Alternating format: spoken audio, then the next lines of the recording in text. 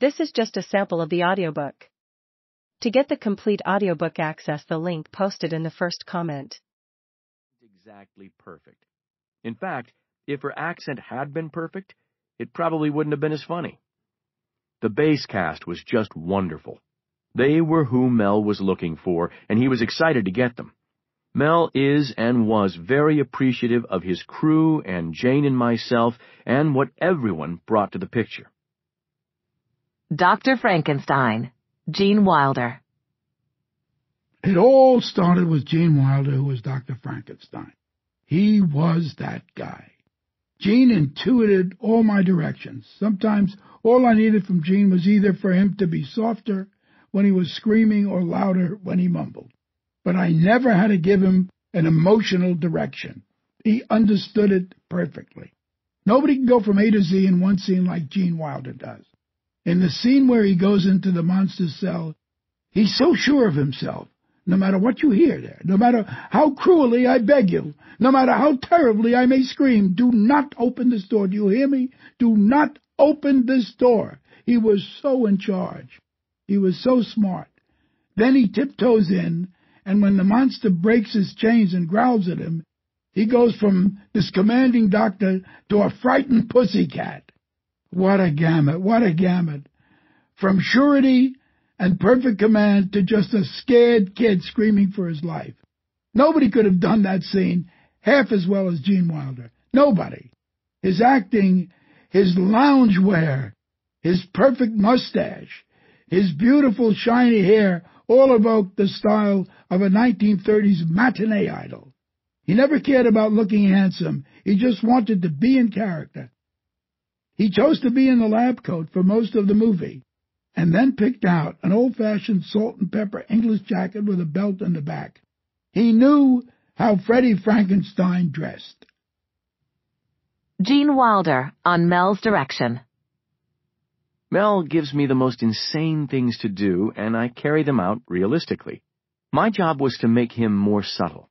His job was to make me more broad, I would say, I don't want this to be Blazing Frankenstein, and he'd answer, I don't want an art film that only 14 people see. Michael Gruskoff on Gene and Mel. Mel directing Gene was like Billy Wilder directing Jack Lemmon. Young Frankenstein was the third film they made together, and we all benefited from the shorthand between them. It's sad they never made another film together. But the ones they have made will remain classics. Classic film inspiration.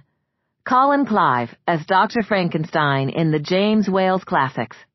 Also known for The Producers, 1968, Willy Wonka and the Chocolate Factory, 1971, Blazing Saddles, 1974. Favorite line? No, it's pronounced Frankenstein. The Monster, Peter Boyle. I first saw Peter Boyle in the movie Joe, a tough political story in which he played a terrible person. In Young Frankenstein, the monster is scary and miserable, but there is a sweet child in the middle of him. Gene Wilder said, listen, Peter can do both. So he did a few readings, and Gene was absolutely right. Peter was a consummate artist, and the beauty of him came through. His soul shone through. Peter's platform boots extended his six foot two height by six inches, and padded clothing added heft. We wanted him big, tall, and monstrous. Once he was in his monster makeup, Peter's complexion was mint green, which photographed beautifully in black and white. At the beginning, it was close to four or five hours to do Peter's makeup, and getting it off was another hour and a half. But he never complained. I wanted the monster to scare the hell out of the audience and still, in the end, be beautiful and eloquent. And he was. Peter watched Frankenstein, the bride of Frankenstein, the son of Frankenstein, Frankenstein's cousin Vinny. He watched everything. I asked which one he liked the best, and he said the first one.